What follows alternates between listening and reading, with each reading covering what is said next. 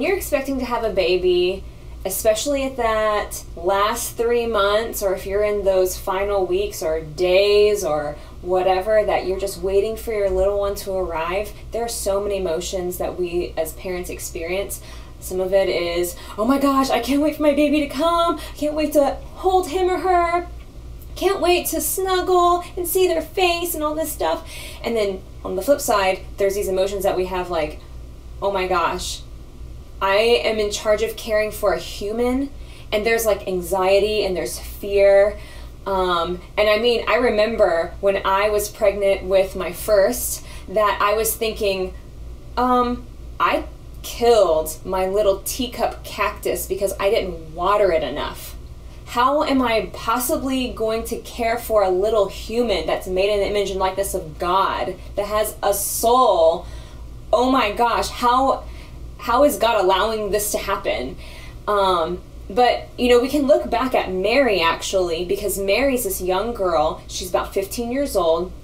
Motherhood is not on her radar, and she finds out that she's going to be the mother of God, like God incarnate coming within her and she's supposed to raise him as a baby and like his like his whole life that's insane like think of how she must feel and so she i mean she can totally relate to us while we're like freaking out how am i going to raise this little baby i'm sure she had lots of questions too how am i going to raise god um, but we look to mary and even though Mary had no clue what was going to happen, she said, Yes. Okay, God, how am I possibly going to raise your son?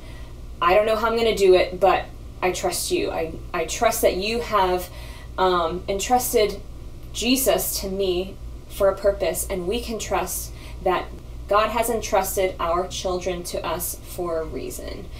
Um, I also think back to Mary in that third trimester while she is on a donkey, she's taking a trip to Bethlehem, and I in my third trimester, I did not want to travel anywhere because number one, I don't want to sit in the car because that hurts, and number two, it's just terrifying traveling anywhere when you're in your third trimester.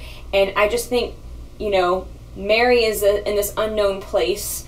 Um, she's with Joseph. It's uncomfortable. It's scary, um, and she just and every part of her life she just keeps saying yes yes yes um, we need to be able to model mary in our yes to, even though it's scary even though there's anxiety even though there might be fear of the unknown um, there might be impatience but um, know that in everything that god is walking with us and he um, he has a plan for our lives.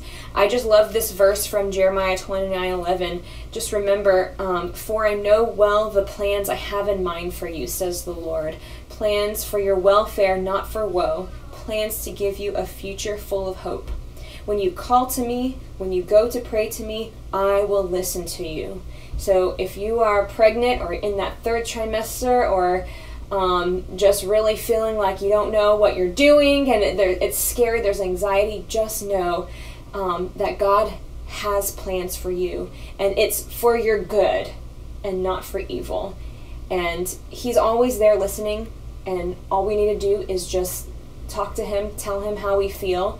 Um, it might not magically make us, you know, feel super confident that we got this, but um, God gives us the grace to be able to carry out this crazy adventure that we call parenting. See you next time on Beyond the Pew.